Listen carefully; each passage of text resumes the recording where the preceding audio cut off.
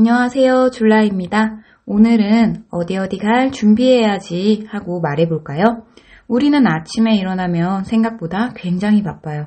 화장실도 가야 되고, 꽃도 bedroom 씻어야 하고, wash my face 아침도 먹어야 하고, have breakfast. 그런데 이런 일 다 왜 해요? 다들 어디 가야 되죠? 그럼 나이에 따라 우리가 출근하는 장소들이 다 달라요. 아기들은 어린이집 가야 되죠? 어린이집, pre-kinder. 좀 더 크면 유치원 가요. 유치원, kindergarten. 초등학교, elementary school. 중학교, middle school. 고등학교, high school. 대학교, university. 회사, company. 자, 그럼 대표적으로 학교 갈 준비해야지 라고 한번 말해 볼까요? 어디 어디에 대한 준비하다. get, let it go 또는 to라고 해요. get은 받다, 얻다 라는 느낌의 동사죠. ready는 준비가 된 이라는 형용사예요. 우리 감독들이 많이 하는 말이죠. ready, action 하고 준비, 움직여. 그 ready와 같은 거예요. for은 무엇 무엇을 위해, to는 어디 어디에. 그럼 이렇게 풀어서 해석하면 무언가를 위해 준비된 것을 얻다. 즉, 무언가에 대해 준비를 하다 라는 소리겠죠. 그럼 학교, school.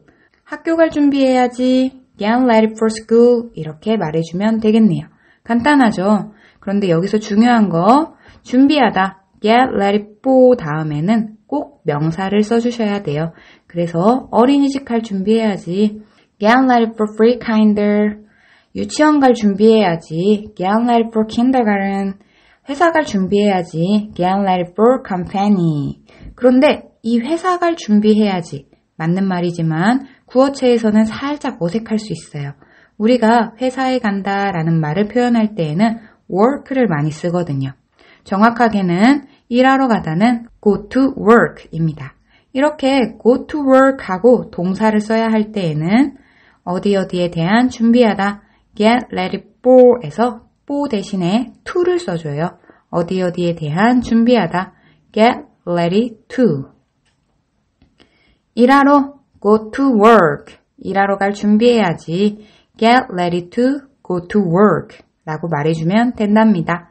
그래서 여행을 떠날 준비 get ready for my trip 꿈나라 갈 준비 get ready to sleep 독서할 준비 get ready to read 이런 식으로 문장을 다양하게 만들어줄 수 있겠죠.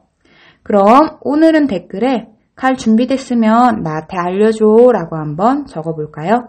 틀려도 좋으니까 꼭 한 번씩 복습해본다 생각하고 적어보시고요. 오늘 줄라이의 왕초보 생활 영어는 여기까지입니다. 자주자주 반복해서 봐주시고요.